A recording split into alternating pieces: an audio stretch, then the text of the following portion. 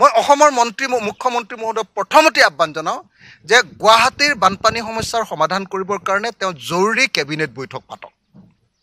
তেওঁলোকে সপ্তাহে সপ্তাহেতো কেবিনেট বৈঠক পাতিয়ে থাকে নহয় জানো? এতিয়া গুৱাহাটীৰ কৃত্ৰিম বানপানী ৰোধ কৰিবৰ কাৰণে এখন স্পেচিয়েল কেবিনেট বৈঠক পতাৰ ব্যৱস্থা গ্ৰহণ কৰক নাম্বাৰ ওৱান নাম্বাৰ টু মই অসমৰ মুখ্যমন্ত্ৰীক আহ্বান জনাওঁ যে অকল কেবিনেট মন্ত্ৰীবিলাকে এই সমস্যাৰ সমাধান উলিয়াব নোৱাৰে আমাৰ গোটেই অসমৰ বিধায়কবিলাক এশ ছাব্বিছজনক লৈ অতি সোনকালে স্পেচিয়েল আমাৰ বিশেষ অধিৱেশন বিধানসভাৰ বিশেষ অধিৱেশন আয়োজন কৰিব লাগে।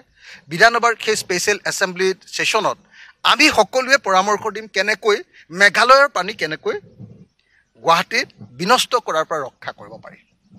মেঘালয়ৰ ওপৰৰ পৰা অহা পানী আকস্মিকভাৱে অহা পানী লাহে লাহে আহি থকা পানী মেঘালয়ৰ পৰা আহি কোনটো জুৰিত পৰে আৰু কেনেকৈ জুৰিত পৰে আৰু সেইটোৰ কাৰণে কি মেকানিজিম কৰিব লাগিব তাৰ সমস্ত প্ৰক্ৰিয়া আমি অসমৰ মানুহে জানো।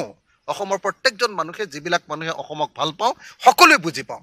সেইকাৰণে মই ভাবোঁ যে প্ৰথম কামটো হ'ল গুৱাহাটীৰ বানপানী সমস্যাৰ যদি সমাধান কৰিব লাগে অশোক সিংগালক বিদায় দিব লাগে মন্ত্ৰী পদৰ পৰা। দুই নম্বৰ জৰুৰীভাৱে কেবিনেট বৈঠক আয়োজন কৰিব লাগে। তাত গোটেই বিষয়টো ভালকৈ চৰ্চা কৰি এটা প্ৰজেক্ট ল'বৰ কাৰণে সিদ্ধান্ত ল'ব লাগে। আৰু তিনি নম্বৰ বিধানসভাৰ বিশেষ অধিৱেশন আয়োজন কৰি কেনেকুৱা ধৰণৰ প্ৰজেক্ট ল'লে বাচিব এই সম্পৰ্কে এটা মুকলি আলোচনা কৰাৰ ব্যৱস্থা গ্ৰহণ কৰিব লাগে। অকল গুৱাহাটীৰে নহয় অসমৰ সকলো নগৰ আৰু মহানগৰৰ অৱস্থা ভয়ানকভাৱে বেয়া। কৃত্ৰিম বানপানীয়ে ধ্বংস কৰি পেলাইছে। গতিকে আমি সকলো নগৰ আৰু মহানগৰৰ কৃত্ৰিম বানপানীৰ পৰা ৰক্ষা কৰিবৰ কাৰণে ব্যৱস্থা ল'ব লাগে। মই অসমৰ মন্ত্ৰী মুখ্যমন্ত্ৰী মহোদয়ক প্ৰথমতে আহ্বান জনাওঁ যে গুৱাহাটীৰ বানপানী সমস্যাৰ সমাধান কৰিবৰ কাৰণে তেওঁ জৰুৰী কেবিনেট বৈঠক পাতক। তেওঁলোকে সপ্তাহে সপ্তাহেতো কেবিনেট বৈঠক পাতিয়ে থাকে নহয় জানো? এতিয়া গুৱাহাটীৰ কৃত্ৰিম বানপানী ৰোধ কৰিবৰ কাৰণে এখন স্পেচিয়েল কেবিনেট বৈঠক পতাৰ ব্যৱস্থা গ্ৰহণ কৰক নাম্বাৰ ওৱান নাম্বাৰ টু মই অসমৰ মুখ্যমন্ত্ৰীক আহ্বান জনাওঁ যে অকল কেবিনেট মন্ত্ৰীবিলাকে এই সমস্যাৰ সমাধান উলিয়াব নোৱাৰে। আমাৰ গোটেই অসমৰ বিধায়কবিলাক এশ ছাব্বিছজনক লৈ অতি সোনকালে স্পেচিয়েল আমাৰ বিশেষ অধিৱেশন বিধানসভাৰ বিশেষ অধিৱেশন আয়োজন কৰিব লাগে। বিধানসভাৰ সেই স্পেচিয়েল এছেম্বলি ছেশ্যনত আমি সকলোৱে পৰামৰ্শ দিম কেনেকৈ মেঘালয়ৰ পানী কেনেকৈ গুৱাহাটীত বিনষ্ট কৰাৰ পৰা ৰক্ষা কৰিব পাৰি। মেঘালয়ৰ ওপৰৰ পৰা অহা পানী আকস্মিকভাৱে অহা পানী লাহে লাহে আহি থকা পানী। মেঘালয়ৰ পৰা আহি কোনটো জুৰিত পৰে আৰু কেনেকৈ জুৰিত পৰে আৰু সেইটোৰ কাৰণে কি মেকানিজিম কৰিব লাগিব তাৰ সমস্ত প্ৰক্ৰিয়া আমি অসমৰ মানুহে জানো।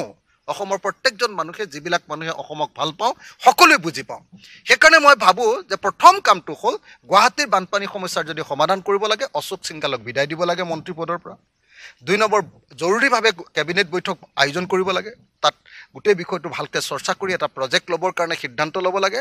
আৰু তিনি নম্বৰ বিধানসভাৰ বিশেষ অধিৱেশন আয়োজন কৰি কেনেকুৱা ধৰণৰ প্ৰজেক্ট ল'লে বাচিব এই সম্পৰ্কে এটা মুকলি আলোচনা কৰাৰ ব্যৱস্থা গ্ৰহণ কৰিব লাগে। অকল গুৱাহাটীৰে নহয় অসমৰ সকলো নগৰ আৰু মহানগৰৰ অৱস্থা ভয়ানকভাৱে বেয়া কৃত্ৰিম বানপানীয়ে ধ্বংস কৰি পেলাইছে। গতিকে আমি সকলো নগৰ আৰু মহানগৰৰ কৃত্ৰিম বানপানীৰ পৰা ৰক্ষা কৰিবৰ কাৰণে ব্যৱস্থা ল'ব লাগে।